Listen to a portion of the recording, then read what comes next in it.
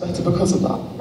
I know that I am one of those people, and if you are too, then clap with us. This is Castles.